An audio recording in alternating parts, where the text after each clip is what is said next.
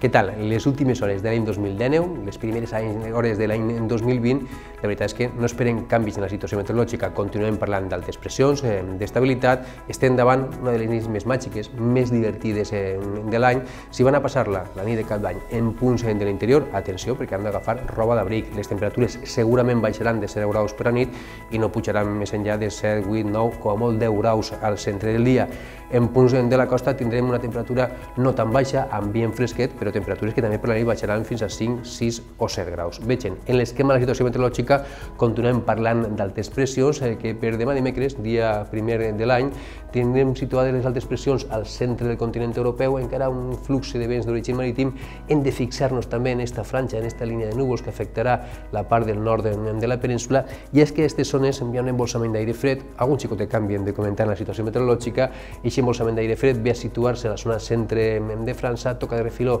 el nord de, de la península, però en conjunt la ratxa continua sent estable. Apenes les zones del nord i del nord del peninsular es veuen afectades per aquest embolsament que a més té reflexi a les capes baixes de l'atmosfera. Vegen aquesta taqueta verda al seu voltant en groc, vol dir que a aquestes zones baixaran les temperatures, sobretot al nord, al nord-est de la península, al nord de les Balears i pot ser en punts de litoral o del nord de la comunitat valenciana. Precipitacions eh, poques afectant les zones del nord de la península. El més important a tindre en compte si han d'eixir a la carretera el dia de cap d'any, la nit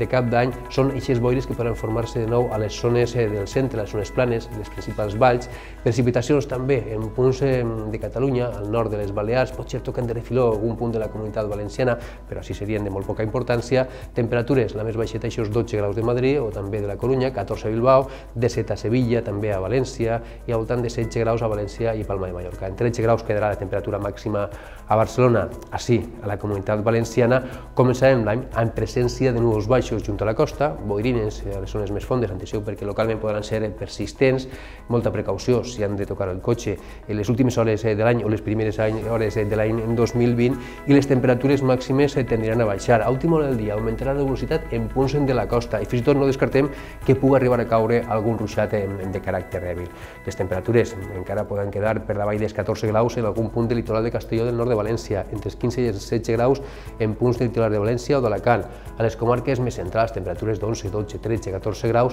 i atenció a aquestes gelades eh, que podran registrar-se de matinada en punts de l'interior i temperatures màximes que en molts observatoris quedaran per davall dels 10 graus. Així a la Safor comencem l'any també amb presència de núvols baixos, temperatures mínimes sense canvis, temperatures màximes eh, amb tendència a baixar, temperatures que a molts observatoris de nou quedaran per davall dels 15 graus només en punts del litoral poden tocar els 15 o els 16 graus. En conjunt, a la resta de la comunitat valenciana, per dijous hem de parar un dia de nou més ennuvolat fins a migdia, fins i tot amb algun ruixat de caràcter dèbil, en punts del litoral, els núvols començaran a trencar-se a partir de migdia de cara a la vesprada, no obstant, l'ambient serà fresquet, fins i tot les temperatures podran baixar lleugerament. I de cara al cap de setmana, al cap de setmana de Reis, sembla que es mantenen les condicions d'oratge anticiclònic, d'oratge estable, amb més fluixos de xaloc, la mar molt tranquil·la i temperatures fresquetes o fredes per la nit i no massa altes durant el dia.